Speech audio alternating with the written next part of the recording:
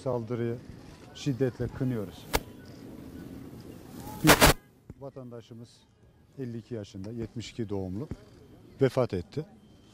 İki maskeli şahıs saldırıda bulundu. Bununla ilgili polisimizin, savcılığımızın araştırması devam ediyor. Ee, Şu an itibariyle söyleyeceğimiz bilgiler bu kadar. Şey ilk e, bilgilerde e, yaralı sayısından bahsedildi. Daha sonrasından yaralı olmadığı yönde bilgiler var. Bununla Yaralı ilgili yok net bir efendim. Bilgi var mı? Yaralı yok. Tek bir kişiye saldırı olmuş ve bir kişi vefat etmiş. Kalmış efendim? Saldırı mı yoksa içeride bulunanların bilgisi var mıdır? Bildiğimiz, gördüğümüz şu. İçeri girilmiş ve içerideki bir kişiye, vefat eden bir kişiye saldırıda bulunulmuş. Dolayısıyla da bunun üzerinde polisimiz çalışıyor.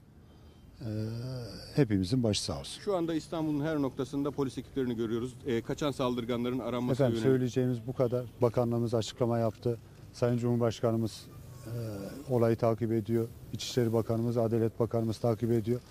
Polisimiz, savcımız, herkes görevini yapıyor. İçişleri Bakanlığımızın açıklaması olayın çerçevesini çiziyor. Bunun dışında çok söylenemeyecek bir şey de yok. Sayın Valim sosyal medyada Fatih saldırısına değindiler. İç karışıklığı e, Hayır efendim yani bu e, şu an itibariyle açıklanan bu bilgilerin dışında bir bilgi de yok. Bunun dışındaki paylaşılan diğer bilgilere itibar da etmeyelim lütfen. Yabancı konsolosluklar ya da elçiliklerden size gelen bir etki, bir şey var mı acaba?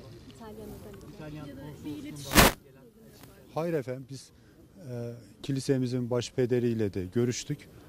Ona da geçmiş olsun dileklerimizi ilettik. Dolayısıyla da olay daha çok yeni. Aşağı yukarı iki saatlik bir olay.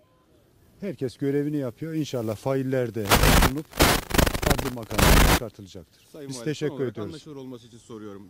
E, rastgele bir ateş söz konusu değil. Hedefe alınan bir kişi üzerinden bir Efendim, saldırı var. şimdi burada ne dersek diyelim bir hüküm tesis etmiş olacağız. Söylediğimiz nokta bu. İki tane maskeli kişi içeri giriyor ve bir kişiye ateş ediyorlar.